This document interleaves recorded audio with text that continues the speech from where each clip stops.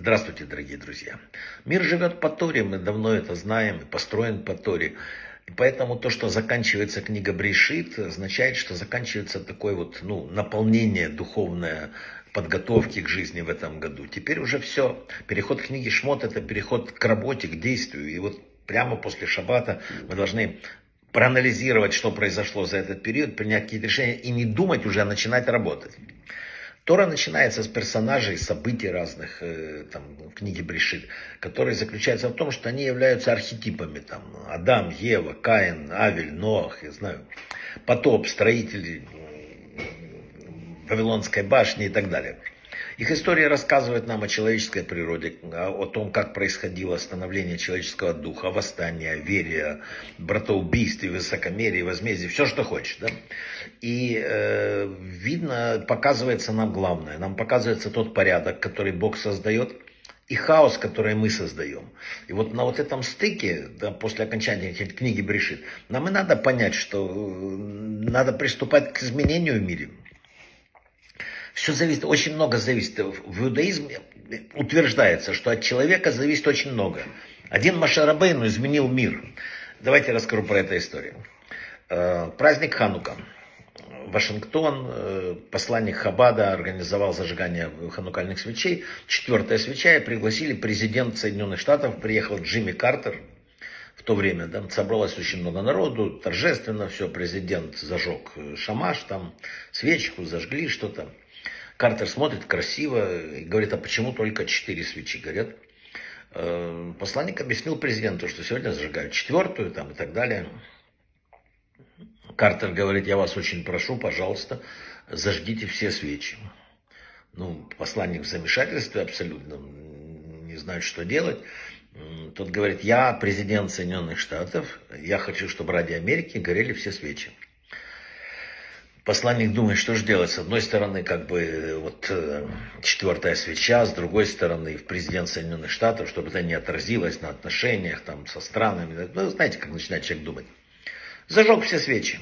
Зажег все свечи. Чудесно, президент доволен, все довольны.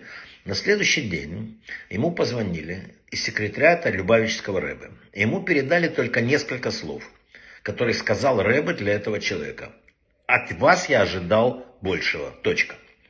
И действительно, вот от нас ожидают большего. Ну, скажем так, сказать, э, господин президент сказал бы, мы очень вас уважаем, но есть закон, который мы не можем приступить. Все ли так могут поступить, не знаю, но вот от этого человека и от нас с вами, наверное, ожидает э, большего. И хотя э, бывает, что в жизни мы когда-то отступаем по маленькому, по кусочку, там что-то... Но главное, чтобы это не было системой, чтобы это не скатывалось э, все ниже и ниже. Вот, хотя говорят мудрецы, день без занятий это что, э, Торы? Когда мы ни, ни одного не делаем духовного движения, это время украденное у жизни. Мы на один микрон упустили возможность исправить в этот день себя, а значит и весь мир. Надо понимать, если нам что-то не нравится в этом мире, если мы видим какую-то боль и страдание, это наша вина, и она безусловна. Надо помнить высказывания мудрецов. Человек – это лестница, стоящая на земле и вершина, достигающая неба. И любое движение каждого из нас, любое дело, любое слово оставляет след в верхнем мире. Мы, если очень хотим, мы можем найти э, Бога везде, в мире. И опять, как сказано, э, мы можем и увидеть, и услышать Бога. Голос Синая вещает сейчас так же, как в прошлом, говорит Каббала. И сейчас, как и раньше, просто надо приготовиться, быть способным слышать его голос. Как написано, если будете слушать глаза моего сейчас. Слово «сейчас» означает, что мы постоянно слышим этот голос. Во всем, что с нами происходит, мы должны видеть руку неба. Мудрецы сказали, в любой ситуации главное три ступени. Первое, так хочет Всевышний. Второе, все к лучшему. И третье, в чем-то намек для меня – Важно понимать, что для каждого человека наметен какой-то особый путь. Души разные, исправления разные. И главное надо помнить, разочарование это антибожественное чувство. Написано, посмотрите на Всевышнего. С каждым из нас у него случаются неудачи, причем неоднократно. Тем не менее, он никогда не разочаровывался, он в нас верит.